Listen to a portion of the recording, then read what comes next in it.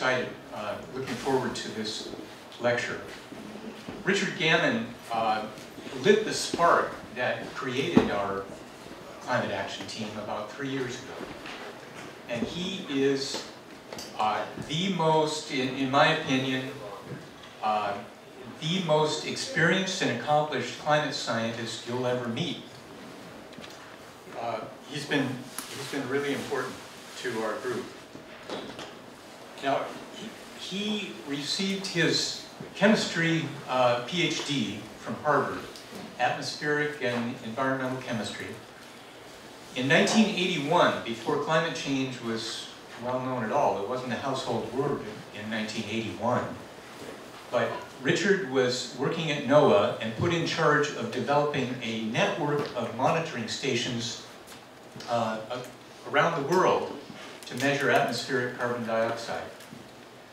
He is a professor emeritus of chemistry at the University of Washington, and also oceanography, and also an adjunct professor of atmospheric science. So he's he's got a lot of work uh, uh, beyond, under his belt. He has a long, long list of peer-reviewed scientific articles he, and a long list of awards and honors.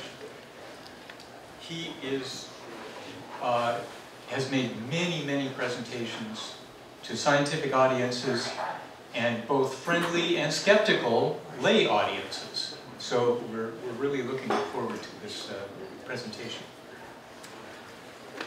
Now, after Richard's presentation, we're going to take a minute to talk about climate action options we can take and future events. And then there'll be plenty of time for questions. So Richard, uh, let's welcome Richard.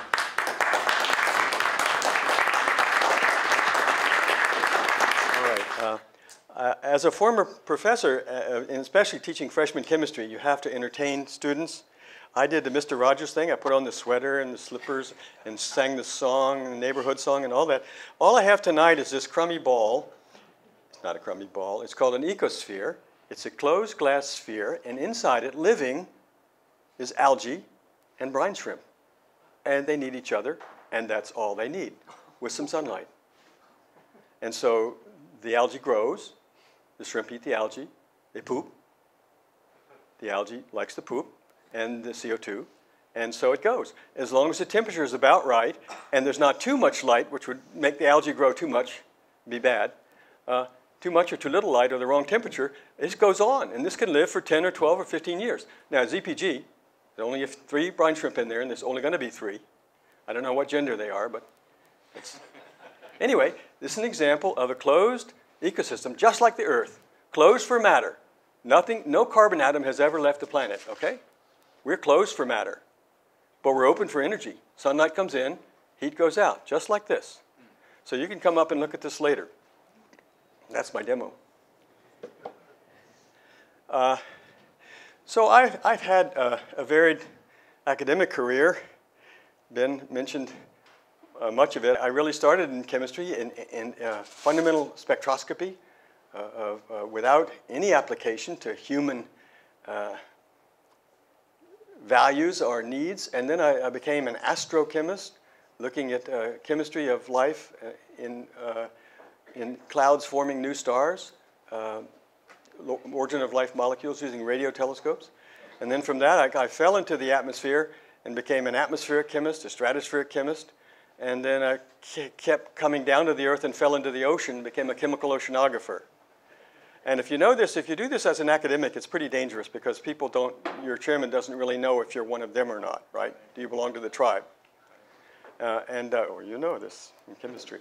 Yeah, uh, uh, and so this, so I never became an expert in any particular academic discipline. And, and my chemistry department colleagues were a little bit skeptical that I was doing chemistry in the ocean, in the atmosphere, in the dirt. You do, the chairman said, you do chemistry in the dirt? Yeah, yeah, environmental chemistry, global biogeochemical cycles didn't exist at that time. And now it's a field which you can major in and take courses in. So that's, that's really my background. That's why I'm interested in, the whole subject. I am not an expert in many aspects of this. What I know best is carbon cycle and atmospheric chemistry. But you'll see a lot of other stuff. What I really want to talk about tonight is uh, two, two scales. The scale of the planet, of course, the, the, the atmosphere itself is there. And people think the atmosphere is big, it's, the sky is the limit, right? The sky is less than one page in a thousand page book. You bring the atmosphere down to the pressure in this room, and it's five or seven kilometers. It's tiny. It's tiny. So, yes, we can change the atmosphere. We are changing the atmosphere. And then there are already environmental refugees. In the future, we will call them climate change refugees. You can say environmental migrants, people moving to where there is water and food and where they can grow food and moving back from a rising ocean. In the future, there won't be tens of thousands, a million, like out of Syria. There'll be hundreds of millions of people moving to where they can live. That is almost a certainty. Okay, now the message is heavy, uh, and uh, we're here already in a dark time, in a dark place, and I want to try to end this talk with a positive message of hope and empowerment of things we can do in spite of the political situation. Okay, uh, climate news. It's still inconvenient, Al Gore would say. we set the record again in 2006, which was warmer than 2015, which was warmer than 16, which was warmer than 15, which was warmer than 14, which was warmer than 10, which was warmer than 5, which was warmer than 1998. And the people who said, oh, there's been a pause or hiatus, no warming since 1998, it's not true. It is simply not true. The data showed a slower uh, rise, but uh, have been revised, and, and, the latest data show pretty consistent uh, warming with extra high values for El Nino years like the one we just had. Atmospheric CO2 is now over 400 ppm, parts per million, 0.04%. Trace gas, right? When was the last time there was that much CO2 in the air? And long before there were humans. Long before humans existed as a species. That's about 100,000, 200,000 years. How about the genus Homo? Nope, before the genus Homo. Okay? Before the ice ages, we're back to three or four million years ago. When our, our simian, our, our, our ape-like pre-human ancestors stood up and walked on two feet. Back to the age of Lucy or before Lucy. That's what we've already done to the atmosphere. So we need to look at what the climate was back then because that's what we primed the atmosphere to lead us toward. So when you take your next breath, take a breath. And it's good to take a breath. Think about that. Think about the air that you're breathing and the level of CO2 in that air that no living human has ever breathed CO2 that high. None. And uh, in Hawaiian, uh, aloha means to share the breath. The ha is the breath. Aloha is a sharing of the breath. And the Maui people, they touch noses and share the breath. Share the breath. So we're all breathing the same air, and we breathe out what the trees Trees breathe in, and as Kathleen Dean Moore said, we are the exhalation of the Doug fir. What the Doug fir breathes out, we breathe in. So we're in a meditative exchange of CO2 with all the plants, all the forests, and all the phytoplankton in the ocean. This is a sacred thing. It's part that makes us a part of, of all of, of life on Earth. There's been no pause in the warming, as I said. The West is still in drought. There's a lot of uh, floods in, in Hawaii, uh, California right now, but it does not end the drought. Uh, we had record rain events elsewhere in, in the east, in, in Louisiana and, and uh, West Virginia and other places, once in a thousand year rainfall events, we had five of them in one year. So somebody's loaded the dice, somebody's changing the odds. Can you prove that that rainstorm is due to global warming? I can't prove it, no. But now I can run the models, enough of the models with and without greenhouse gases to say by what percentage have the odds changed that such storms will happen. That's called attribution. And the science of attribution is moving ahead very, very quickly now, much more than, than five years ago. I was saying that this talk is really what is the new science in the last five years? The latest IPCC, uh, the assessment number five, came out in 2013 and 2014, based upon science through 2012. Stop. So we've had five or six years of science since then, which is not in the latest report. The next report is due out in a year or two. They come about every five or seven years. Maybe by 2019 or 2020, we'll have the next Intergovernmental Panel on Climate Change Assessment report. And this is a peer review of the peer-reviewed literature. And in the summary for policymakers, then it goes through a political filter of representatives of all the governments of the world. So it's a peer review of the peer review, and then a political review of the peer review of the peer review. And what survives that process is pretty watered down center of the, and so when something's way out there as a possibility, like Hansen would say, uh, it can't be rejected. It may not be in the center of the conserv- scientifically, politically conservative viewpoint in the summary for policymakers, but it's not rejected. It's in the full report. So if you just read IPCC or even the summary for policymakers, which most of you have not read, uh, you'll see a pretty conser- scientifically conservative summary of where the science was several years before. And I'm trying to update that now. I'm not going to talk a lot about policy or politics. I'm going to talk mainly about what is the new science in the last five years. Guess what? The North Pole almost melted again this Christmas, like it did last Christmas. The Gulf Stream is slowing. It wasn't supposed to do that. The model said the Gulf Stream wasn't supposed to slow yet, but it's slowing. The models are wrong. This is a concern. Tipping points. I'm going to come back to this, but this year we lost a good piece of the Great Barrier Reef. Two thirds of the northern Great Barrier Reef is dead and won't come back. Not just bleaching and it's going to be fine. It's not going to be fine. It's gone. It's gone. If you've ever snorkeled in a coral reef, you can weep because your grandchildren or your great grandchildren will not see this. Largely, for most of the warming scenarios that we think about, there will be no coral reefs. Done. Polar ice sheets, well, the, the, the sea level prediction uh, in this uh, IPCC report said, well, there, there might be half a meter or one meter, two or three feet by 2100. But, you know, we really don't have the models to deal with the dynamics. We don't have the spatial resolution. We don't know about ice calving and all this other stuff. All we can do is sort of say warming water uh, expands uh, and mountain glaciers will put more water in the ocean. And we'll look at that part of the sea level rise, which is due to those things. And we won't ignore any dynamical effects on polar glaciers. Well, guess what? The glaciers are cracking and falling into the sea. Sea level rise is accelerating. So this, this prediction of half a meter is, is, is, is really out of date. We might get one or two meters, and Hansen would say we might get multi-meter sea level rise by 2050. Why is that important? Each meter of sea level rise is 1% of the global population displaced. You can do the numbers yourself. If you have uh, uh, three or four meters of sea level rise, you're talking of hundreds of millions of people moving back from a rising ocean, losing their rice fields. That's, that's a really serious thing. Uh, methane has started to increase again. I helped uh, this network in, in, Boulder. I didn't really establish the network. I, I, was responsible for it for two years in Boulder, the Global Carbon Dioxide Measurement Network. We had 10,000 air samples coming back to Boulder, and we'd measure CO2 and psh, blow off the rest of the gas. Ryan Rasmussen said, What are you doing? You have 10,000 samples. Let's measure some other things in, that, in those air samples.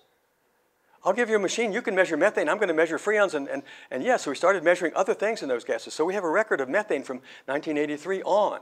And after about 1990 or so, methane looked like it was leveling off, not going up anymore. Not anymore. Now it's taking off again. Why? We don't know. Is it cow farts? Excuse me, bovine flatulence? it's out the front end, not out the back end. 90% of the cow emissions are out the front end, not out the back end. No, it's not cow farts. No, it's not fracking. Yes, fracking is water quality issue. It's not fracking. It's not cow farts. We don't know. It's a low latitude signal. It's biological. It's either natural wetlands and or rice cultivation in low latitudes. How do we know this? Carbon 13 and carbon 14 use isotopes. And you can say, nope, it's not fracking. No, it's not cows. It looks like a, a equatorial latitude signal. I'll come back to this. Uh, Pope Francis, the encyclical, we'll briefly talk about that. Powerful, powerful message from the Pope, not just for Catholics, but for all people, about the reality of climate science uh, and the moral obligation to deal with it. And the Paris Accords. It's, uh, it's a very ambitious statement. Uh, it, it says we're going to try as a world to achieve a balance, a carbon balance, by the late, latter part of this century means that the emissions of carbon will be reduced so far that they'll be balanced by the sinks of carbon and the atmosphere will stop increasing in CO2. Are we safe? No, we're not safe. Where are we going to stop? 450, 500, 550? Wherever it is, it's not safe. We've got to get back down. How far down? 400? That's where we are now. Is, is today safe or not safe? 350, 350.org, that's what it's about. Getting back down to the level at which our species evolved and in which we came to consciousness and established civilization. That's what we have to do. Big job. And Paris is only the first step. Okay, let's go. That's a lot of talk about this. Here's the latest report. It comes out in four pieces. It's in, typically in, like this in four parts. The, uh, working group one is the physical science. Working group two, impacts, adaptation, and vulnerability. Working group three, possible mitigation strategies, and then some sort of synthesis, a summary for policymaker synthesis report. This came out over a two-year period. And uh, the, the, the, way to think about IPCC is that I said it's, it's scientifically conservative because it's intergovernmental, which means governments of the world say, uh, we want these professors from the university and these people from industry and these people from government to represent us in, in, in writing the chapters. In, in, some, not new science, they don't do research, they summarize the peer-reviewed literature which already exists. And that's why it's always a year or two uh, after the fact. It, the, the, science probably stopped in 2012 that they reviewed. Uh, and it, this is the important point. It's policy relevant, but not policy prescriptive. Is that right? Right phrase. So they don't tell governments what to do. They said, here is the science. And these are some of the policies that you might adopt if you want to, to mitigate the climate change and or make your people more, your society more robust to adapt to the changes which you can no longer avoid. So uh, I was involved actually in the very first report back in 1990. Because I had been involved with, with NOAA and the global CO2 program, I was asked to be on the carbon cycle chapter back then. Look at the wording. It is not possible at this time to attribute all or even a large part of the observed global mean warming to the enhanced greenhouse effect on the basis of observable data currently available. Hmm. Pretty cautious statement in 1990, right? Pretty cautious statement. As I said, it's, a, it's the peer review of the peer review that then goes through a political filter. If any government representative, Saudi, French, anybody, objects to any word, comma, period, it's out of there. Any country can object to any word in, this, in the summary for policymakers. And what survives that filter is going to be pretty milquetoast, okay? Five years later, strong words. The balance of evidence suggests a discernible human influence on global climate. That's the standard. Balance of evidence, right? Are we, are we, we're at the civil standard, not the criminal standard in a court of law, right? Balance of evidence. More than 50 50, right? And again, five years later, six years later actually, most of the observed warming over the last 50 years is likely to be due to the increase in greenhouse gases. Now we uh, so, give a quantitative number, two out of three, 66% level confidence. Two out of three, more than 50 50. It's not a coin flip anymore. We think we see the signal with good confidence. Six years later, most of the observed increase in global warm temperature is very likely due to greenhouse gas emissions. Level of confidence, 90, 10 to 1 odds. We're at the criminal standard now. We're beyond a reasonable doubt. We're not at civil standard anymore. And so you can see from, from, from, from mealy, mealy mouth words to, to, to two out of three to, 10 out, to 9 out of 10 how the confidence level of the scientific community, very conservative international scientific community, is starting to ring the bell louder and louder and scream. And so then we come from this 2007 to the most recent report. It is extremely likely that human influence has been the dominant cause of the observed warming since the mid-20th century. Confidence level, at least 95%. Now we're 20 to 1, at least 20 to 1 odds, maybe 50 to 1 odds. So we're there. I mean, science is never absolute there's nothing absolutely certain in science. All that science can do is say, this is the best we have now, and it could be overthrown by other data in the future. But this is the, this is the working information we have. This is the conclusion we draw based upon what we have. It's a little bit like the CIA and the FBI, right? With the Russians. Never 100%, but it's the best we got. So the growing certainty. So here's, here's the, the uh, summary for policymakers, which came out uh, for working group one. And here, here, here is the level. So less than likely, unlikely with quantitative statement, more likely than not, that's 50-50. Likely, that was the two out of three. Very likely, that was nine out of 10. And then greater, greater than 95% confidence, extremely likely, better than 21 odds that human emissions of greenhouse gases are causing a warming of the planet. And that was 2013. So uh, you have a, someone in your family or in your acquaintance, your neighbor, a cousin, an uncle, who is not, a, not who's, I wouldn't call him a denier, call him a skeptic. I hate that because scientists are nothing if they're not skeptical. The word for the Royal Society is nullius in verba. Don't take anybody's word for it. Show me the data. Scientists are skeptics. They're not deniers. You look at the data and you draw your conclusion. That makes you a skeptic. If you look at the, if you look at the data, deny the data, and, and base your conclusions not on the data, then you're a denier. You're not a skeptic. So these people I call deniers, not skeptics. Skeptic is too nice a word for those people who don't accept the climate science. I'm not a scientist. Well, that's right. I'm not a, I'm not a cancer surgeon either. But I do, I do listen to people who say that, that causing, uh, smoking causes cancer. Now, if you can't tell me which cigarette and when and in which lung I'm going to get the cancer, then I don't believe the statistics. It's like that, okay? We've got the data. The data is in. The scientists are not arguing about this. So it's happening. It's real. It's happening now. Humans are causing most of it. Maybe not all of it. I think all of it. But most of it, more than half of it, climate scientists agree on points one and two, more than 97%. And those 3% are the ones that aren't really doing very good research. If they're publishing in Science and Nature, uh, uh, Journal of Geophysical Research, et cetera, then they're up, they're, they're way beyond this 97%. So there, there's a deep consensus, as good a consensus as there is about cigarette and smoking, cigarette causing smoking, uh, cigarette smoking causing cancer. So uh, impacts are going to be bad for people and the natural world, but there's hope to avoid the worst if we start now. Not everything. We can't avoid everything. I used to wear a t-shirt that says, stop global warming. I'm not sure we can stop global warming. We can slow it down. We can adapt to it. But we're in it. It's, it's happening now. As Susan Solomon said with this IPCC report, the impacts will be severe, pervasive, widespread, and irreversible.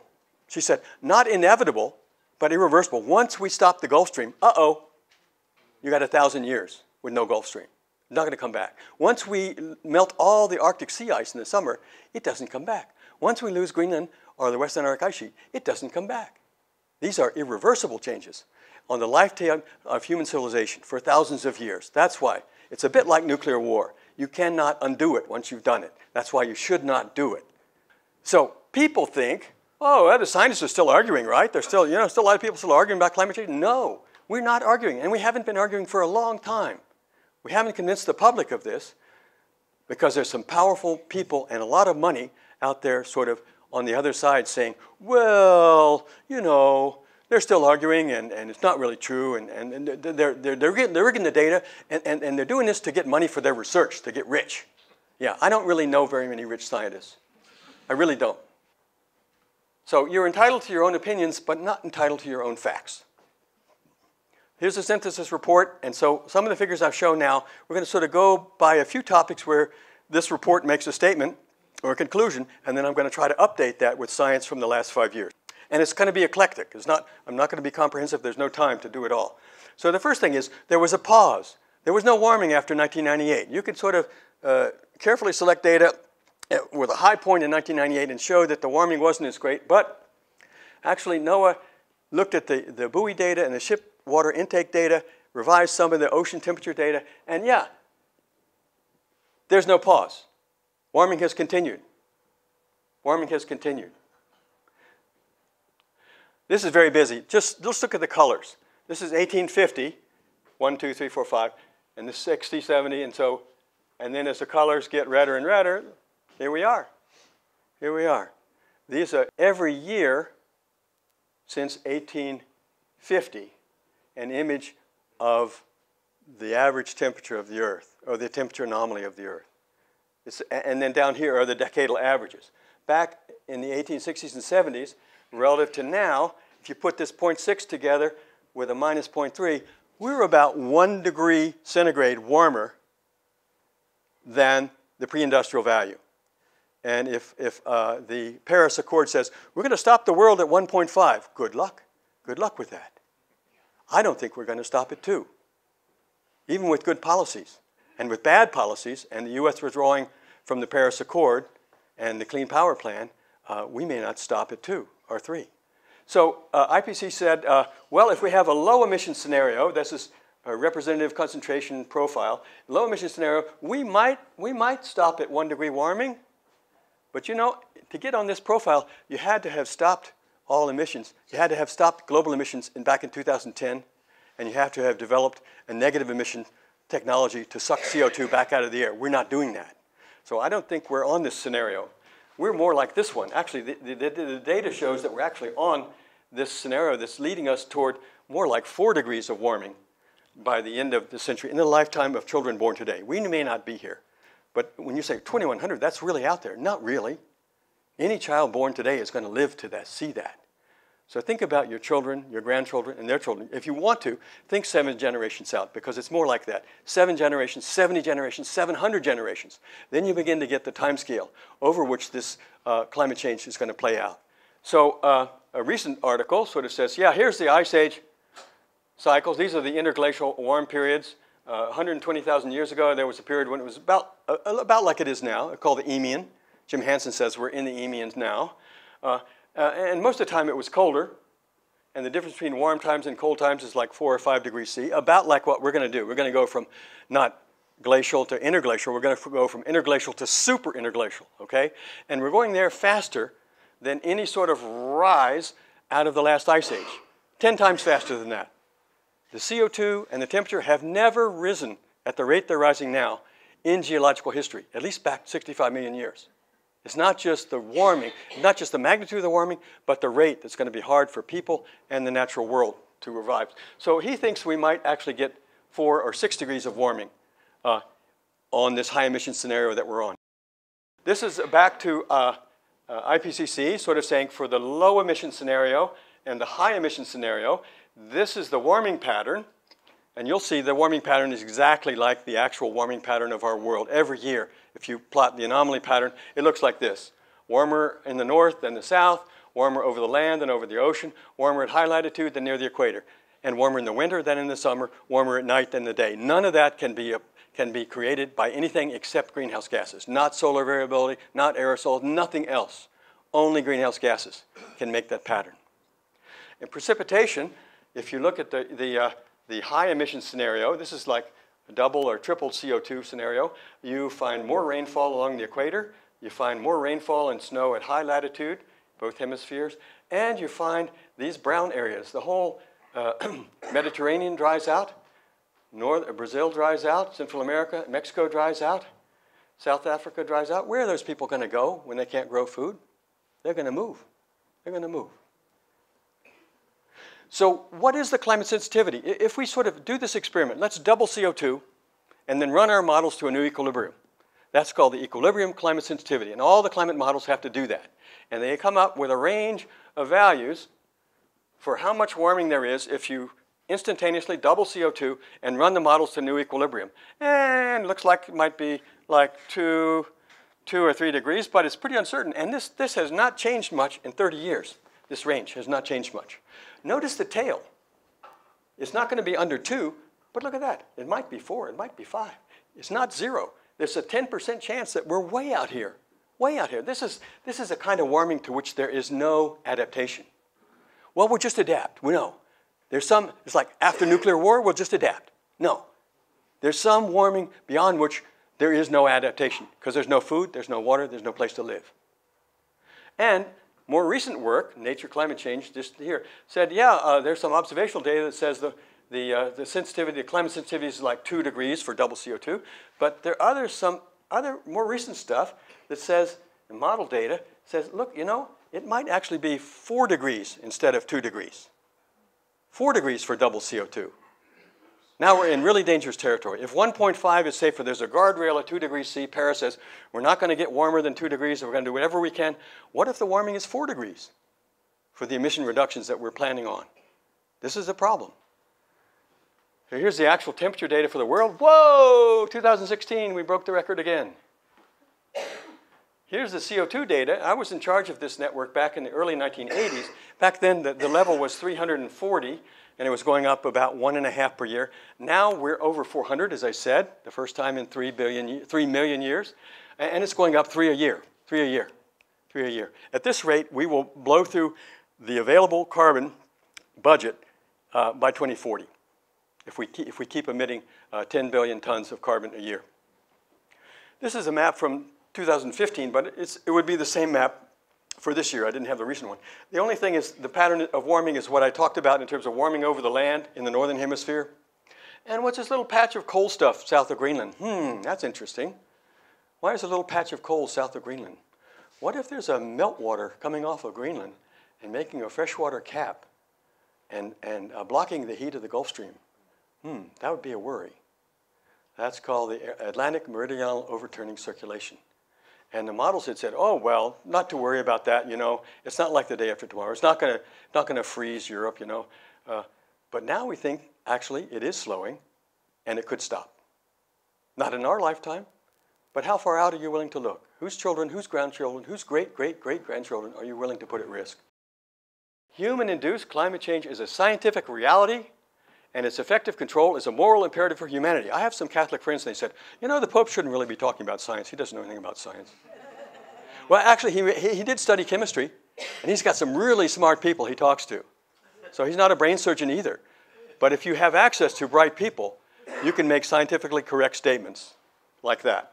Uh, so here we are at 400. Actually, we're up at 410 already. We're going up a three a year, right? 405, 407, 408, 411, 4, that's where we're going. Uh, and here, uh, from direct measurements of air bubbles trapped in ice, is the last 800,000 years of carbon dioxide. Glacial maximum, interglacial, glacial, interglacial, etc. And that's about as far back as we can go because that's, that's the oldest ice that we can find in Antarctica. You try that in Greenland, you can only go back this far. Why? Because Greenland melted away 100,000 years ago. Greenland was bare rock. Watch out, when Greenland melts, that's six meters of sea level rise. And we now know that Greenland was bare rock several times during this period, probably during warm periods. So we're learning a lot about the stability or instability of polar ice sheets since the last report. Uh, too busy to talk about. This is uh, 400 million years of carbon dioxide from a number of proxies. We're over here somewhere.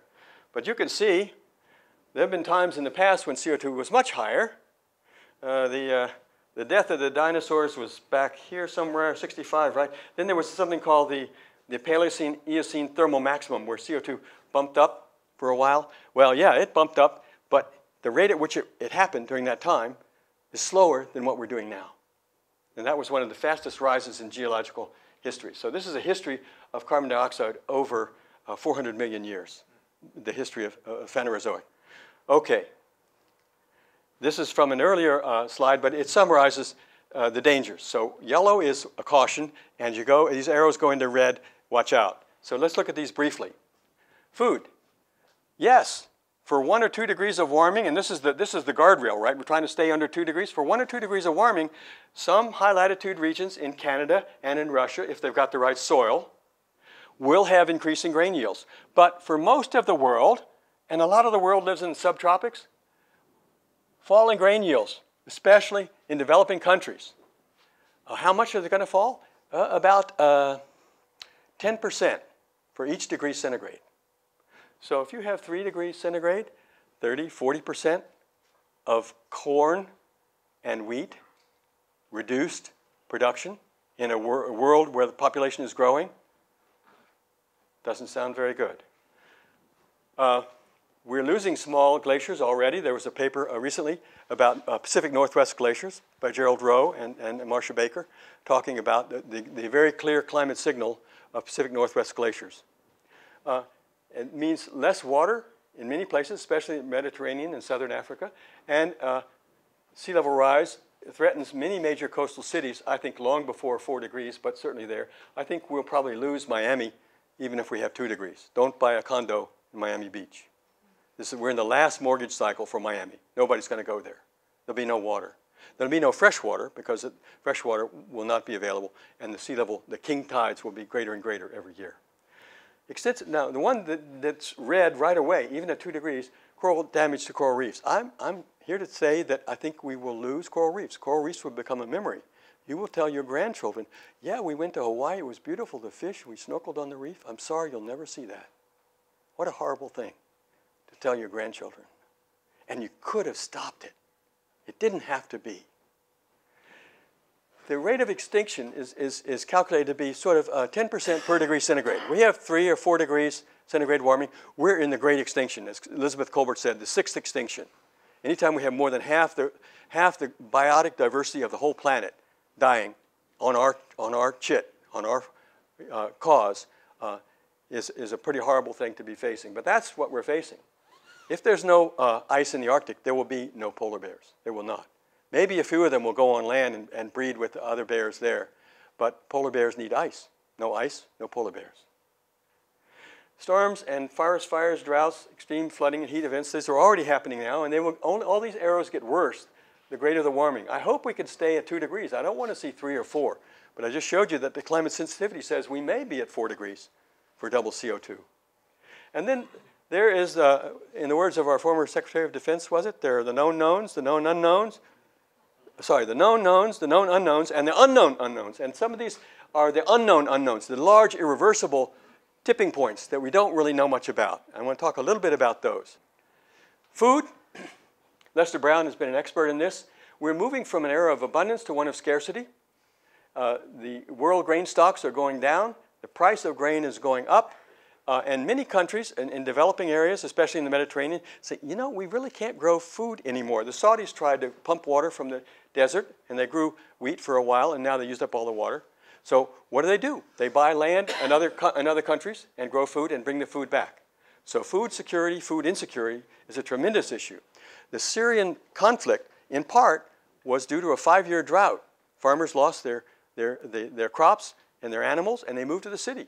And uh, the Assad government could not take care of them. So climate change is already, quote, a threat multiplier in the language of the Defense Department, a threat multiplier, if not a primary cause, of civic unrest around the world.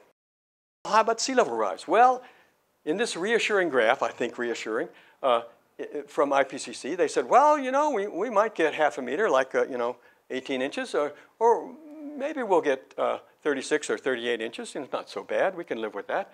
But are these curves turning over? Are they stopping? Where are they going beyond this date? Okay? You have to ask that. The world doesn't stop in 2100. Your grandchildren will be here, and their children will be here. And again, whether we have a low emission scenario or a high emission scenario determines how high this is going to go.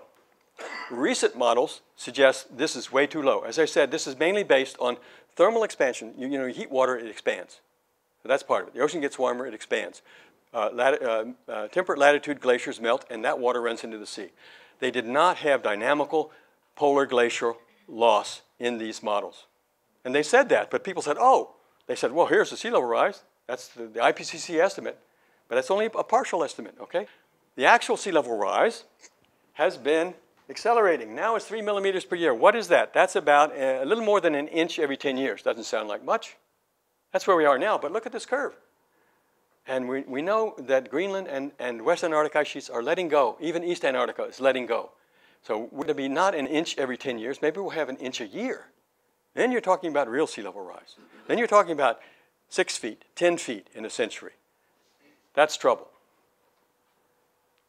What about the loss of the ice that will make this possible? Now, the floating sea ice in, in, uh, in the Arctic, if it's floating, you've done this at home.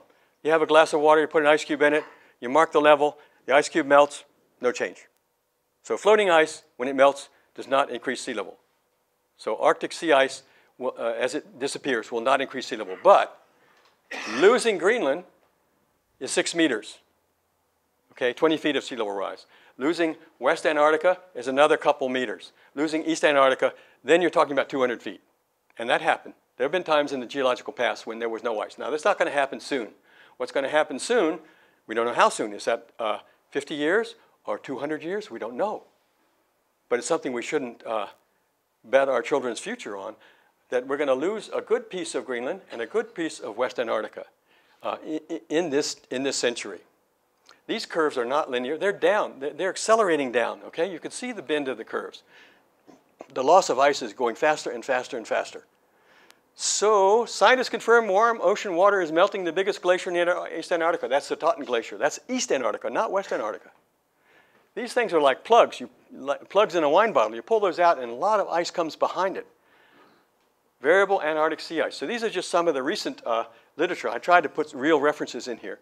Uh, this is not the uh, peer review of the peer review. This is Richard Gammon's selective, eclectic view of some of the things that have changed in the last five years. There's a huge crack 50 miles long in Larsen C. Remember Larsen A and Larsen B? It's as simple as A, B, C. Pine Island Glacier on the West Antarctic ice sheet, big crack there. Pine Island and Thwaites Glacier, there's warm water coming underneath, melting them from the bottom. So it's not just melting from the top. This, this freshwater cap with warm motion water uh, eroding the grounding line. And these, uh, when you take these uh, ice sheets away, then the ice behind it, which is grounded, comes out. So Larsen is floating, but behind it is a lot of ice which is grounded and, and will come quickly into the sea once the, the floating sea ice is gone. Uh, too busy, too busy. Uh, just a point that the, the, this hatching is where ice is breaking and falling in, and, and the solid black is where it's melting. So a lot of places, this idea of ice breaking and falling into the sea, which was not in the previous estimate, is now an important part of the uh, contribution of, of Antarctica to sea level rise. And this year, for no reason, we don't know, we don't know what happened here. Look at this. Whoa! The, uh, the Antarctic sea ice, which had actually been expanding, this is the skeptics, the, the deniers love this, you know. Okay, yeah, the, the Arctic sea ice is, is shrinking, but look at Antarctica, it's getting bigger and bigger every year. Well, it was, and not this year, no. This year, suddenly, we're losing sea ice around Antarctica, not just the Arctic, but the Antarctic as well. Both polar regions are losing sea ice. So NOAA uh, revised their estimates and said, yeah, we might get two meters. And Hansen would say, this is low. This is two meters by 2100. Hansen says multi-meter rise by 2050. So we don't know. We actually don't know how fast and how high sea level will go. None of these curves are bending over. Once they start, they keep going up, okay? Here's the US. Population below four feet, that's a little more than a meter. Uh, five million people. That's about uh, one or one and a half percent of the world of the U.S. population. That's what I said. Each meter of sea level rise displaces 1% of the global population. You can do it for a country like the US, or you can do it for the global population. So imagine uh, 2100, we have 10 billion people, and we have uh, uh, 3, 3 million, 3 meters of sea level rise. That's 3% of 10 billion. That's 300 million people, right? The US population on the move, going somewhere, desperate. So think about that. Think about sea level rise and the displaced human population as well as the loss of the agricultural lands at the edge of the sea. Well, people say, how, about the September Arctic sea ice? Uh, you know, when, it, when is the world going to have blue water at the, at the North Pole? I, I, said that, you know, Santa has to swim. Reindeer can swim. Can Santa swim? He's going to need a floaty. So maybe it's not going to be out here. Maybe we're going to actually be out of ice in the next 10 years, 15 years. When was the last time there was blue water at the North Pole? Three million years ago. What happens when there's blue water there instead of ice? It changes the circulation of the polar vortex, which we're experiencing now. The whole uh, winter circulation changes because of uh, blue water at the, at, the, at the north. So Arctic is getting crazy. North Pole temperatures may soar 50 degrees above norm. Sea ice hits record lows. This was uh, just, uh, just before Christmas. All this red stuff here, that's Santa that's uh, something like 30, 40 degrees above normal at the North Pole, which is about right here. Why is it so warm at the North Pole? Just like last Christmas, the North Pole melted, went above freezing. This is not right. Shouldn't be happening. The, the Arctic is warming at twice the rate of the rest of the globe, just like the models say. Arctic amplification of warming is about a factor of two or three, and that's what we observe. So the red line here the Arctic is warming much faster than the rest of the world. Here's this temperature.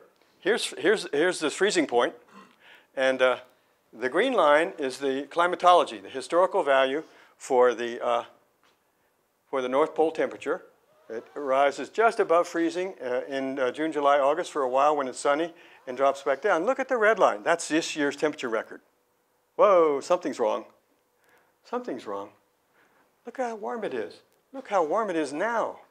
These spikes, 20, 30, 40 degrees Fahrenheit warmer than they should be. Why? Because there was a lot of blue water in the summer, more energy from the sun was absorbed in the water, the ice formed more slowly in the fall, and it's thinner ice. We don't have multi-year ice anymore, we just have for one-year ice now. That's why you can take a sailboat and go across the North Pole now. You can do the Northwest Passage. Cruise ships are going across there. We're going to look for oil and gas there probably. And uh, uh, cruise, uh, uh freighter ships can get to from Europe to Asia across the top of the world and save a third of their fuel in a third of the time. So the Arctic is opening up. Who's going to benefit? Canada and Russia. Here's the, here's, here's the combined Arctic and Antarctic sea ice. It was already bad, and now look at it. So we're, we're not in a normal climatology anymore. What's happening in the Arctic and Antarctic was not predicted and is happening much faster than any of the models suggested. Uh, and here's the average monthly uh, Arctic sea ice in, in November boom, off the charts again. So because of this extra warming in the Arctic in the summer, uh, we're really uh, no longer forming sea ice in the Arctic or the Antarctic in the way that we need to to have the stable climate. Uh, just, I'm not going to dwell on this, just to say, in these numbers, there used to be 16, and now it's 4. You can do the math yourself. That means 75% of the volume of Arctic ice is gone. We've only got a quarter of it left. That's what it means. And the, the trend in this, actually, if you wanted to fit this with nonlinear, you would, you would do something that was curving and going down even faster. So that's why I say I, I, could, I could estimate that we would have blue water in summer in the Arctic uh, at the North Pole in my lifetime, in the next 10 years, 15 years. It's possible. It's not going to be 2050. How about coral reefs? Oh, I love coral reefs. As uh, others have said, like Dick Feely at NOAA, the oceans are growing hot, sour, and breathless. What does that mean? Oceans are warming because most of 90% of the greenhouse extra heat is going in the ocean. Sour because of ocean acidification. CO2 is an acid gas. H2O plus CO2 is H2CO3, carbonic acid. A third or so of all of our CO2 emissions are being absorbed by the ocean, acidifying the ocean. And breathless because warmer ocean holds less oxygen, solubility of oxygen as a gas. And the phytoplankton that produce the oxygen are struggling as well because they're getting less nutrients from below because of the stratified ocean. Uh, Tim Flannery said, my head tells me what my heart cannot. My beloved coral reef, Great Barrier Reef, is doomed, doomed. He's a leading climate scientist in Australia, written a book, Atmosphere of Hope, which is pretty good. We had bleaching uh, this year, or started in 2014. The Great Barrier Reef, the northern part of the Great Barrier Reef is dead. We lost it, two-thirds of it, gone, not coming back. Um, this is the paper, and it sort of goes region by region of the major reefs of the world. Here's Florida, here's the northern Great Barrier Reef, um, here's Fiji, here's French Polynesia, and says, by what year, that's what the color scheme is, by what year will the coral bleaching be an annual event which will kill the coral reef? If you have severe coral bleaching every year, you don't have a coral reef. If there's coral bleaching every 20 or 30 years, mm, the reef can recover. If you have severe coral bleaching every year, there is no recovery. There's no chance for, for the algae to re recolonize the polyps. And that's the end of those corals. Has it happened in the geological past? Yeah, many times. Every time we have a great geological extinction, there are five in the geological record, we lose coral reefs. Do they come back? Yeah, a million years later. A million years later. You're willing to wait a million years? Mass extinctions are happening very rapidly now, 10, 100 times faster than the normal rate. As I said, something like um, 10% extinction increase for each degree of warming. These are walrus, uh, walrus, and they came ashore because there was no ice. So they're, they're having fights and bumping each other, and there's really no room on the ice for them. And as the Beatles said, we are the walrus. We are the walrus. I don't have time to talk about mosquito-borne diseases, but, but vector-borne diseases will, will move poleward as frost-free conditions expand. And we know about this from chikungunya, from West Nile, my daughter was just going to college in New York in 1999 when the crows were falling out of the sky in Manhattan, because that was the beginning of West Nile in the US. Dengue, Zika arrived in Florida. All of these things are related to uh, frost-free conditions and expansion of the, of the zone where the vectors can flourish. And most importantly, as a matter of social justice, environmental justice, climate justice, those people in the world, especially in Africa and India and Indonesia, the people who have benefited the least because they're sitting around the campfire burning firewood have never had fossil fuel, maybe a little kerosene, never driven a car, never had natural gas. They will suffer the most, and they're least responsible. So those of us who've benefited the most from uh, fossil fuels are, are, are, are deeply responsible for the suffering of other people, not in the future, this now, the suffering of these people now. So climate change is a, social just, a global social justice issue. Tipping points we don't really know when, uh, how quickly permafrost will thaw in the Canadian Arctic, in Alaska, and in the Russian uh, Arctic as well. We know that as it warms, CO2 and methane will come out of that great reservoir of peat. And this is a positive, positive in a bad sense. Positive means an amplifying feedback. When climate scientists talk about a positive feedback, they mean, you know, like feedback from the microphone, right? It amplifies. It doesn't mean it's good. It's not good, but positive feedback is going to increase the warming. The rate of Greenland and West Antarctic ice melt uh, were not supposed to be significant, and now we know they are, and they're accelerating. The Gulf Stream wasn't really supposed to start slowing, but it is now, and we need to deal with that. Uh, this is a, a cartoon from uh, Toles, uh, and he's written a book with uh, uh, Michael Mann, this uh, sort of the Madhouse Effect. If you want a good book and a funny book on climate change, I recommend The Madhouse Effect by Toles and Mann. When I started, this is 1981 or so, when I was in charge of the CO2 network for Boulder, we started measuring methane with Paul Fraser, started measuring methane in the in, the, uh, in these air samples coming back from around the world. And uh, it was growing very, very fast. And notice this, it sort of levels off. I don't have the scale here. This is about 1990 or so. It said, oh, okay, well, methane has stopped increasing. That's good. I don't know why exactly. Was it the Soviet Union breaking up or, or what? Uh, but now, here it is. Whoa, it's starting up again. Why is methane starting up? We don't know. This is one of those scientific mysteries. I don't think it's bovine flatulence. I don't think it's fracking. From the isotopic data and the spatial uh, uh, measurements of where the methane is increasing and its C13 and its C14 content, it's low latitude, a biogenic source, rice cultivation, or natural wetlands. Now, rice we might do something about. Climate change in natural wetlands we can do nothing about, except try to slow the warming. So this is a current mystery. Uh, this says that uh, these are uh, some of these high latitude peatlands, and this is an estimate of how much extra carbon is going to come out of those high latitude peatlands as they warm up. It's a lot 50 gigatons of carbon. 50 gigatons. We put up 5 gigatons a year now, uh, 10 gigatons a year now of carbon.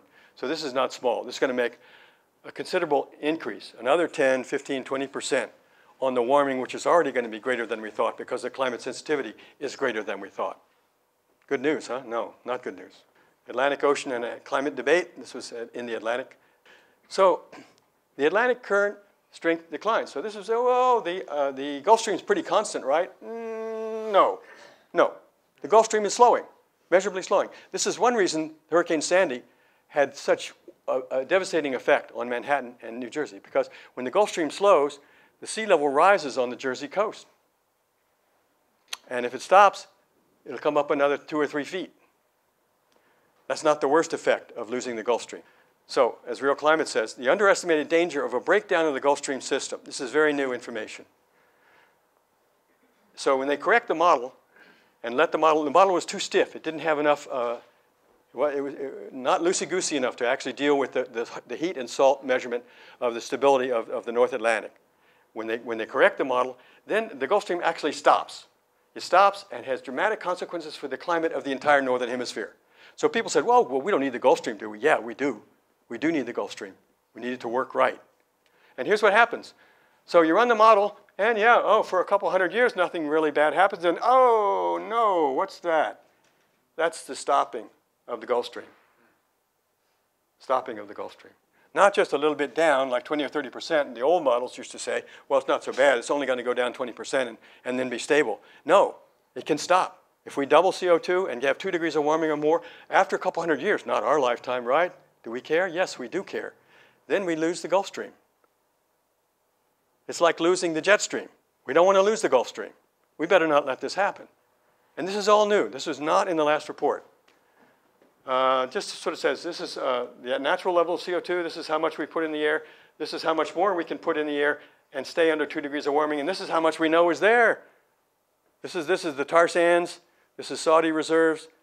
We got to leave it in the ground. That's why the, the motto says leave it in the ground. Leave it in the ground. Most of the proven fossil reserves of coal and oil have to stay in the ground, never be dug up, never be refined, never be burned. Or if you dig it up and refine it and burn it, capture the CO2 and put that back underground. That's called capture, carbon capture and sequestration. We don't know how to do that yet in a cost-effective way. That's the only way we can still use fossil fuels, is if we grab all the CO2 and put it safely back underground. So where are we? Well, maybe, I hope that we actually have stabilized emissions. If we stabilize emissions, does that mean the CO2 doesn't go up? No, it means that it goes up at, at, a, at a linear rate. If you actually cut the emissions by 80%, then you can stabilize the atmosphere. Until you stabilize the atmosphere, you cannot stabilize the climate. So we have to do this. We have to get 80% reductions in CO2, not by 2100, this is an old slide, it has to be by 2050. In one more generation, we've got to get 80% deep decarbonized off of fossil fuels. That's the challenge. Some good news. I'm not going to have time to talk about these. There are, there's a few things that are good on the climate policy front. Maybe in discussion we can talk about some of them. So, we're too busy, but we're actually on the high emission curve. We're on the, the one that leads us to three, four, five degrees of warming. We've got to get down on this curve. And we're, we're too late. We should have started by 2010. We should have peaked. And even on this curve, if you really want to get down to two degrees, you have to have negative emissions. After 2050, you have to have some smart kid in his, his garage is going to figure out how to do this.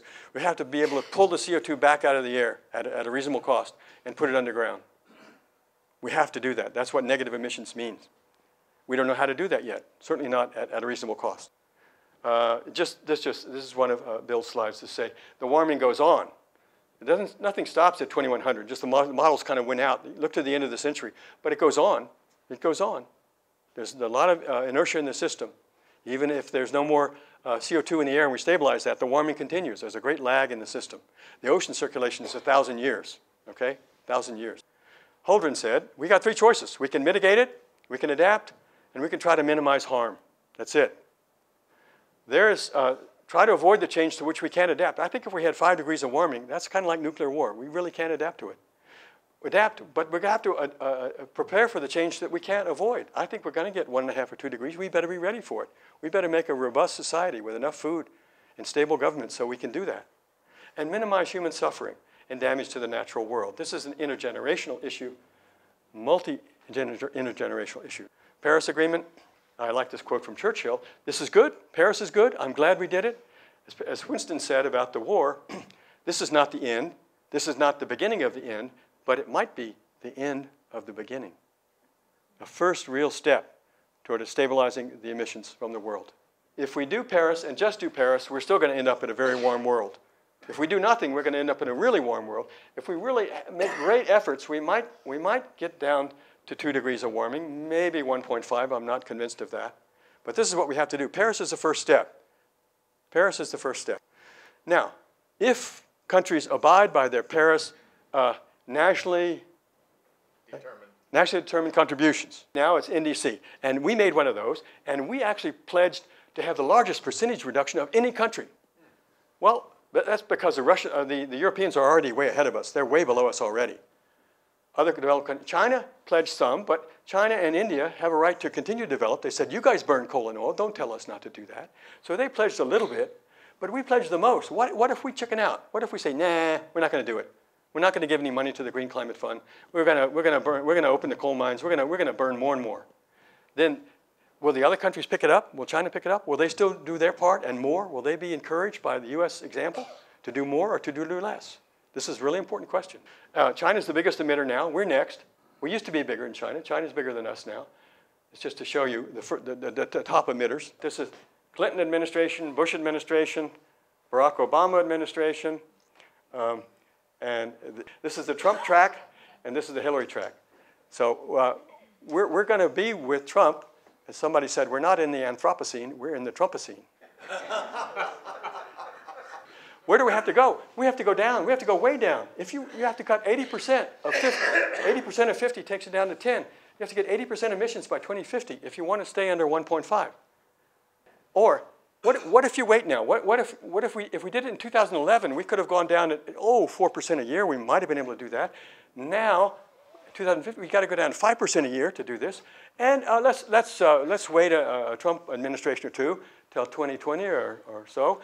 Uh, then you got to go 10% a year global reductions in emissions. Can we do that without a global recession? I don't know. I don't know. And notice that this, this, is, this is to meet, uh, uh, give us a two out of three chance of the, of the two degree guardrail. I'm going to tell your granddaughter, look, I gave you a shot. I gave you two out of three. There's a 30% chance that we've totally screwed the world. But hey, we gave it a shot, right? Would you put your granddaughter on an airplane with a one-third chance it's going to crash? No, you wouldn't do that. These are not very good odds, but that's the best we've got. And the longer we wait, the worse it is. I like this slide. There's another Toles. This is, uh, this, is, this is about political compromise. Beware the climate abyss. There is no climate abyss. Ah! He decided the truth must be somewhere in the middle. Maybe he'll only fall halfway down. Nature doesn't care about politics. Nature doesn't do deals.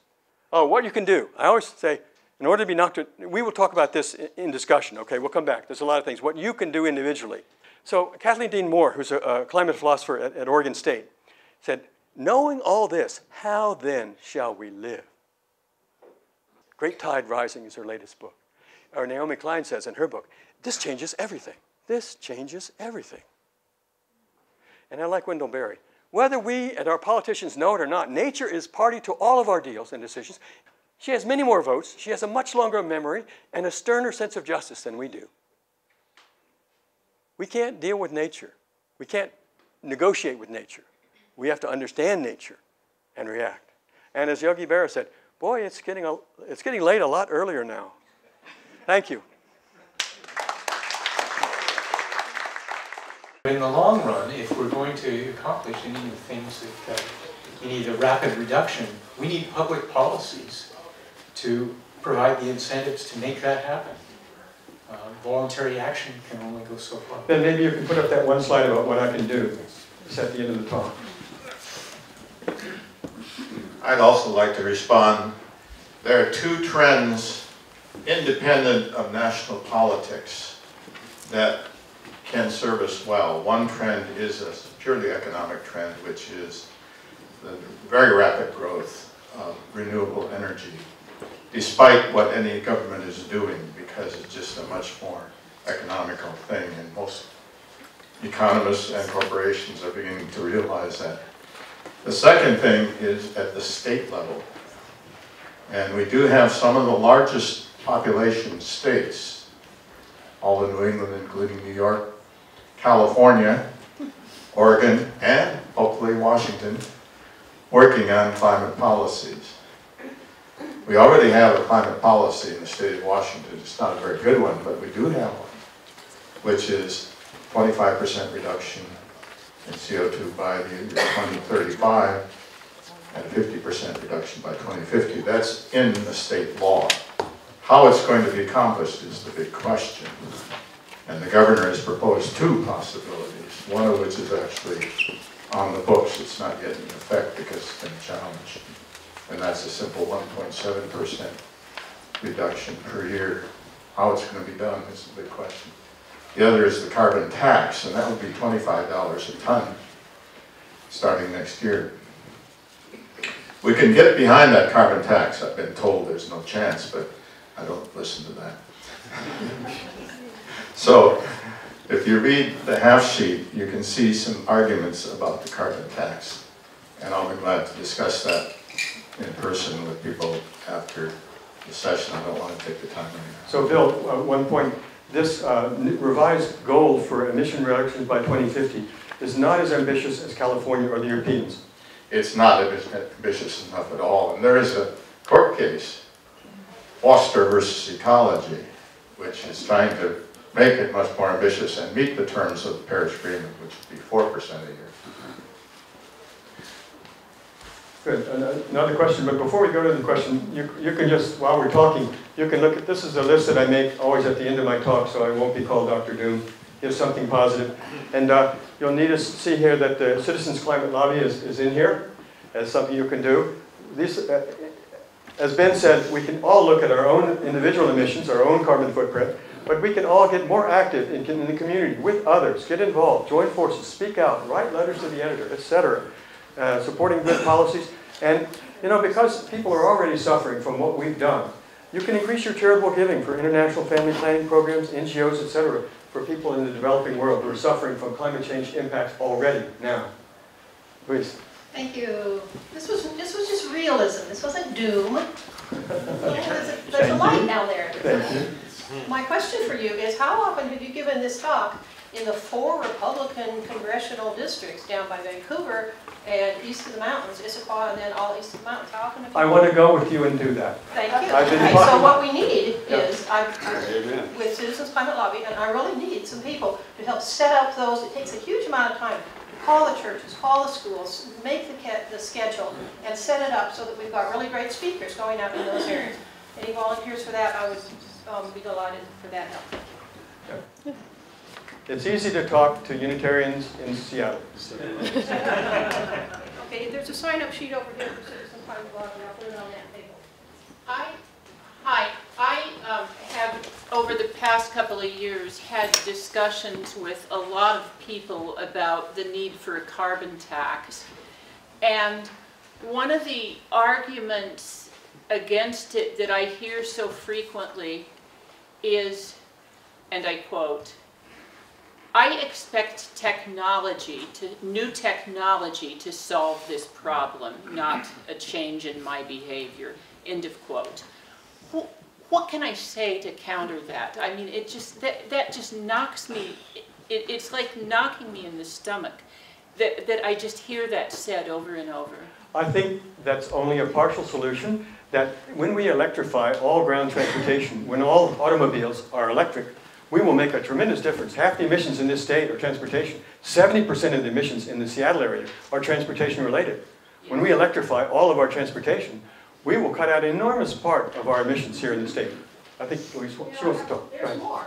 Five point two trillion dollars is, five point two trillion dollars is being spent worldwide to subsidize fossil fuels, according to the International Monetary Fund. Seven hundred billion of that is in the United States, and that's counting the health aspects, but it's not counting what we spend on military to um, defend the oil shipments, et cetera, et cetera, not to speak of Iraq. So um, we've got those huge subsidies that are keeping fossil fuels cheap. And, and even the congressional committees that do the taxes are saying that, that fossil fuels are getting four times the amount of direct tax subsidies as clean energy. So, so that needs to be changed, and that's, that's one thing that a carbon tax would help with. It wouldn't eliminate those subsidies, but it would start to give a price signal so that investors who are going, hmm, should we put our money into this new wind power plant or should we put it into new gas power plants? They're gonna say, well, gas is gonna get more and more expensive because of this and also because of just juggling it around with the price manipulation, and so we're gonna go with wind and solar. And the, the bright side of this is that worldwide and nationwide, in 2015, there was more new electric generation from clean energy than from fossil fuels. So we are going in the right direction. It's just not fast enough to save us from this stuff. Right. Technology but will didn't we just vote down the carbon tax in the initiative? Yeah, yeah, and the reason why we voted it down is The people voted it down. It was a, It, it was the first time we had voted on it, right? So we got forty percent of the vote, so that's pretty darn good. And none of this, this is gonna happen as long as the Republicans are control. Let's half let some other people speak, okay? absolutely, okay, I'm done, sorry. That's all right. Okay, I'd, I'd like to speak to that too, and a little bit to yours, Robert. And that is, we're, we're, anyone you see with blue shirts, and some of us here without the blue shirts, are members of the climate action team. And this is something we've talked about. Really, this goes back to electoral politics. And while we as a congregation, be it church, mosque, synagogue, or what, we can take a stance on issues. We can educate about candidates' stands. We cannot, as an organization, endorse candidates. However, you and I and all the people that we know can become very politically active. And if we live in a quote, safe district such as the 46, where we have three wonderful state legislators, that means that we have an obligation to somehow aid in, as persons, in the election of someone in another district who might not otherwise make it, who is pro-renewable energy.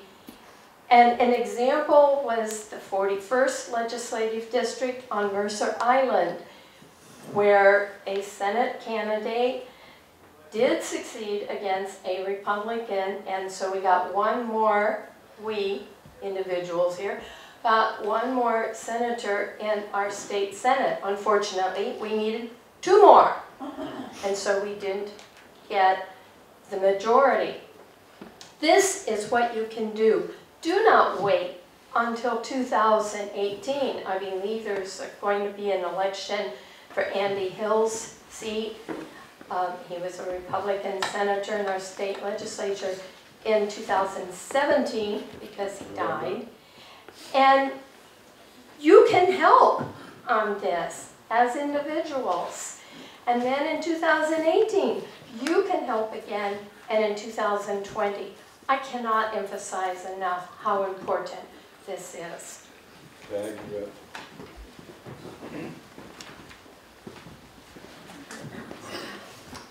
So I see that uh, you have lots and lots of numbers, and scientifically you do everything by looking at the numbers and the trends and stuff. And it strikes me that the only way we're going to turn this thing around is with willpower. I mean, one of those graphs, you know, which way it goes depends on the willpower that we collectively and individually do this. Is there, does anybody know of a way to measure willpower? So that we can have some sort of a numeric thing of how willpower is, whether we're changing it or whether it's, you know, it has a trend or any of this stuff? A lot of it's created by education. As a scientist and as a teacher, I, uh, we always think that if we present information clearly, it will move minds. And now I know in public speaking, this isn't true. And, and if people have a certain mindset ahead of time, they won't look at the data, the trends, or anything. So it's hard to reach such people. How you talk to skeptics and deniers is really a difficult problem. Uh, somebody said, you need to connect the head and the heart. And when I speak to church groups, sometimes I do that. I, I, I've cried sometimes. I said, you know, grown scientists cry. But, and if you don't remember anything that I said next week, maybe you'll remember how I made you feel. So we have to get to the heart. Um, go ahead. about a year ago, I got uh, excited about, uh, or depressed about a potential in the shallow Arctic seas of a huge methane release. And I know several Russian uh, investigators have been looking at this as well as somebody out of the University of Alaska. You mentioned it, it's not mentioned frequently, and Right. yet in, on the web, it looked like a huge, huge looming problem. Would you like to comment? Yeah, I'll just say that the, the increase in methane that's observed in the last four or five years, I showed you the data very quickly, uh, using the isotopes and the geographic distribution, this is a low latitude natural source. They said that the, the, uh, there, uh, significant release of methane from the Arctic, from the land and or shallow seas is not yet a significant force in the global increase. But the resources are huge, and uh, in spot surveys of shallow seas, we know there's a lot of permafrost offshore and on the land. So for the future, this is one of the major feedbacks. As the Arctic warms up, that carbon will come out either as CO2 if it's dry, peat, or as methane uh, locked in permafrost. So it's, it's a, certainly a serious issue for the future. It's not the reason CO2 is going up now. Other questions, other people? Yeah. Uh, please. um, Richard, uh, I wanted Yeah. to, I want to make a brief comment and then ask a scientific question. The Brief comment is, uh, the reason I was late is I was listening to, to the president's farewell address. And he mentioned, he spent quite a bit of time talking about climate change, but he spent more time about talking about engagement. And, and engagement with science and with facts, uh, which is the only way that we're going to address any kind of problem. And also read in the Washington Post this afternoon, uh, Senator uh, White, Whitehouse, he's not the president, but his name is Whitehouse, from, uh, from Rhode Island, saying that his Republican colleagues almost all believe in climate change, and they're all intimidated by the big money that has come from the fossil fuel companies since the, since the uh, Supreme Court's uh, Citizens United decision. So, um, the, the, the one sort of political question I ask as an educator, how do you keep people from making up their own facts? And the other question I want to ask is a very scientific one. How much uncertainty is there because we don't know how clouds act in terms of the actual uh, amount of global warming? I, I hear climate scientists talk about whether we're going to have, for example, two and a half or three and a half degrees depends because we don't know enough about the way that clouds uh, react to sunlight and the greenhouse. We know the greenhouse potential of water vapor, but we don't know how much water vapor there's going to be.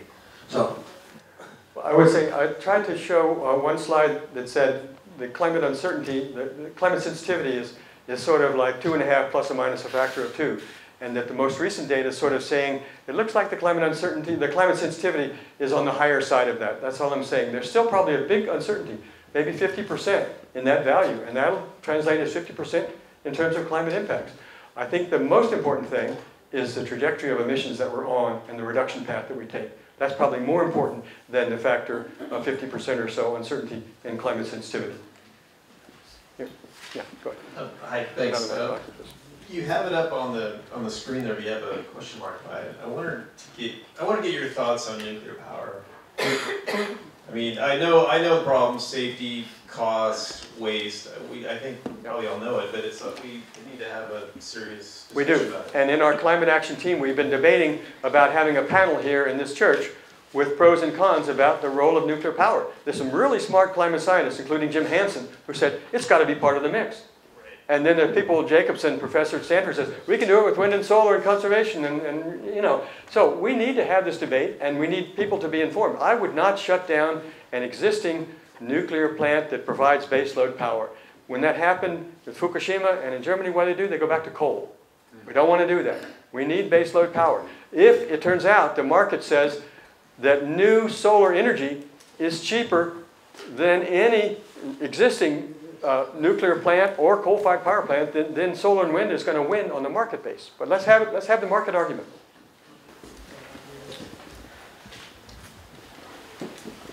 I actually have two questions. One is, I didn't feel like you answered your question about what to say Oh. to people who say technology will solve the problem.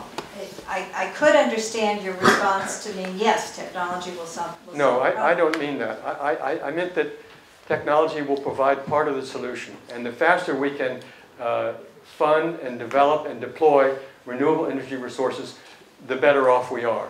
The, the individual response is still there. Uh, we can all eat less steak. We can all, I, up here, hey, drive the speed limit. How many people drive the speed limit on I-5? No. Well, do it. Make those people honk and get behind you and say, hey, if everybody drove the speed limit, we'd save 20% right there. 20% of the fuel. So there are things we can do as individuals. It's part of it. Yeah.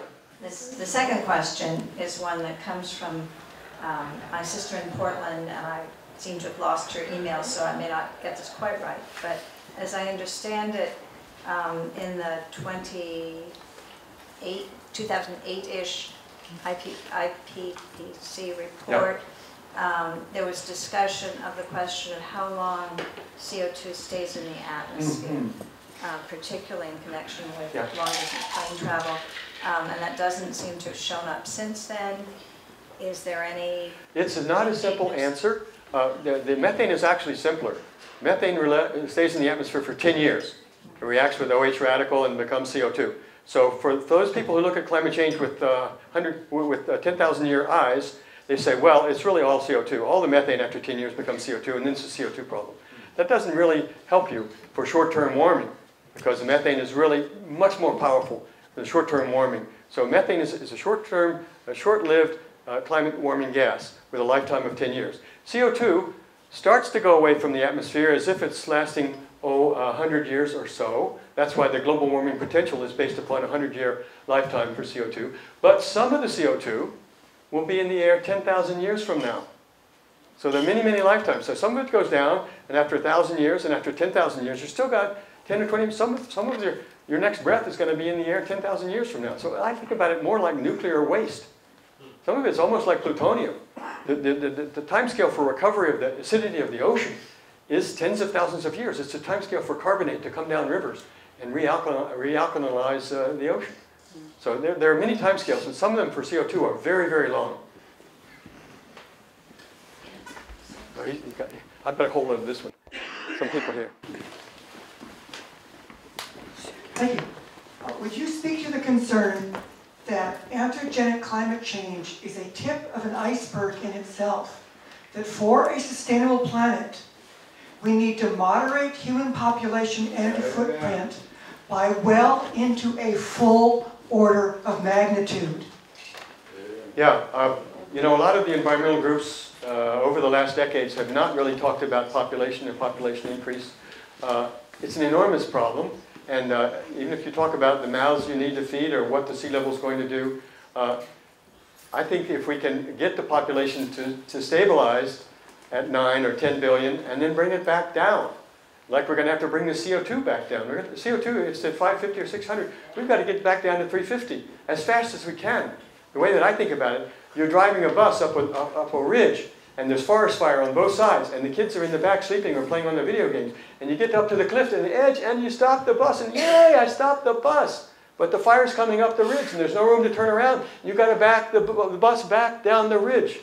Save the kids. So that, that, the top of the ridge where the bus stops is where CO2 is in balance, carbon balance, 2070 if we're lucky, 2080. But then we've got to get back down as fast as we can, because it's still very, very dangerous. And population is certainly part of that. Hi.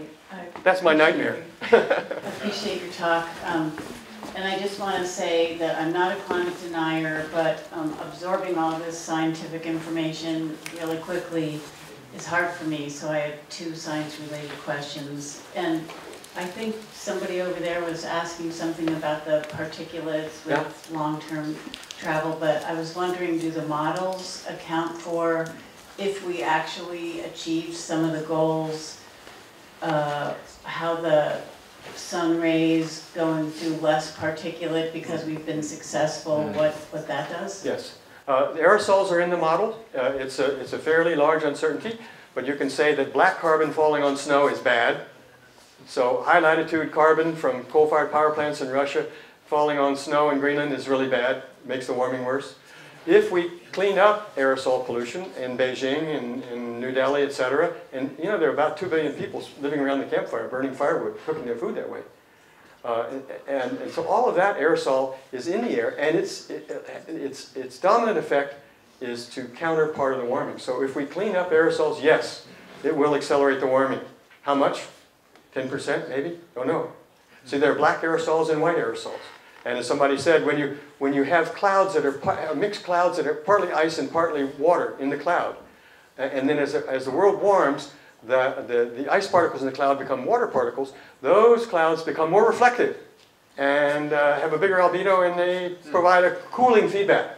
And that was overestimated. And now that they know that the water content and the ice content in the clouds is not what they said, that stabilizing feedback is not as effective. So the, the effect of clouds and cloud changes on climate is actually now an amplifying feedback. So one other question I had was that I think you had it on your first slide and then subsequently you showed some things. Like you said that we're at 400 parts per million and the last time we were there was three and a half million years ago. Yes. And, you know, so then there was a chart that showed, you know, some of the different peaks that we've had over the last. So it's 400 million, yeah. I Yeah. Shouldn't have, oh, there's one 800,000, that was the ice core record. Yeah. And it also showed 400 million. So it's just kind of confusing. I mean, to me, wanting to be able to explain to climate deniers mm-hmm. when they go, well, over the last 800 million years, or whatever the numbers are, there's been these other peaks. When- Not since when- we've been around.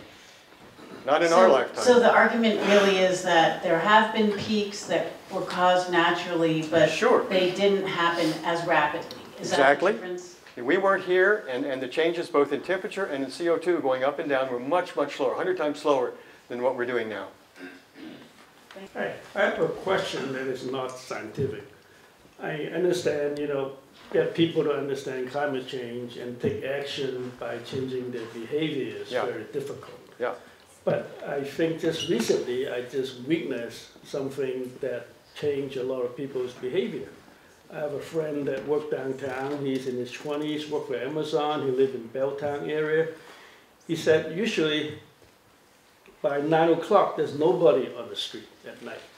Until recently, Pokemon Go come out. Mm-hmm. You got people coming out in the woodworks and on the streets at ten at night looking for this Pokemon thing. So my suggestion and also a question is, is there any way to popularize the message about climate change and the effect of it or any possible solution by teaming up with a game developer or something? It's an excellent suggestion. Some creative. Yeah, It's not my area, but yes, uh, both, both, both uh, virtual reality and, and all of the arts, uh, uh, can be engaged. Ralph Cicerone, the former chairman of, uh, head of the National Academy, was really reached out to Hollywood and made some of those connections. But yes, virtual reality, the gaming people, anything that sort of lets people uh, get a sense of, of what future reality might be under different possibilities is really important. Some of the movies are bad. The Day After Tomorrow was really bad science. Are we done? No, we're not I done. have uh, an idea about the willpower. Um, so whenever we were talking about uh, any kind of technology uh, to um, reduce the carbon emission or reduce carbon dioxide in the air, um, we always say, oh, at a reasonable price. Yeah. The willpower measurement is however much we have to pay for, we will Yeah. do that. That's the measurement of willpower. I think that's what we need to do, whatever price it takes to reduce the carbon dioxide in the air, we will do that. That will be the measurement. Um, and I'd like to uh, amend the uh, slide, um, the information about uh, uh, carbon emission, um, the countries that are emitting the most. Yes, yes. China, you had said that uh, emits most carbon dioxide. Yes. And actually, in China, um, the renewable energy is the uh, is also uh, the greatest rate of increase. Yes, yes. So that balances. If China doesn't do the renewables, they would have emit, uh, they would be emitting much much more than anybody in India. Agreed. China is a leader in renewable energy, in technologies for wind and solar, all of that. So I, I want to get back to the aerosols. Okay. And uh, you don't hear a lot about geoengineering anymore. But uh, I know that every major university has a program where they're studying that. And uh, most of the they had me going a while back, but things most of the scientists I've talked to um, really aren't for it because you don't know what's actually going to happen. But the, one of the ones that uh, seems to be one of the best is uh, you know putting our aerosols up into the atmosphere that might buy us some time. What do you think about that? Buying us some time uh, in order for us to get our stuff. Thank you for the question. I didn't have time to do that. Um, of course, like many scientists, I, I'm opposed to, to, uh, to fiddling with the atmosphere. I think we messed it up enough. But we've messed it up in such a way that we may be forced to do that. To get over the peak of the warming, even Patrick Mazur, who has good credentials, right, say, Richard, I think we're going to have to do geoengineering. I think if we stay on this track of four or five degrees, the only way we're going to avoid cat- catastrophe is for a period of time, whether it's a few decades or a few centuries, we put up a, a stratospheric veil uh, and, and, and lower the sunlight coming in so we get over the warming. But, you know, uh, so what world government's going to do this? And uh, the U.S. government was not funding this research for a long time. Bill Gates was funding it, was privately funded. But now, uh, the realization among the climate scientists, when they look at these scenarios, they, they say, you know what? We're going to need nuclear, we're going to need carbon capture, we're going to need geoengineering, we're going to need everything. One last question.